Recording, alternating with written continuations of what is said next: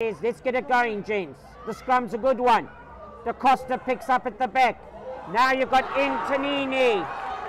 He's brought to ground.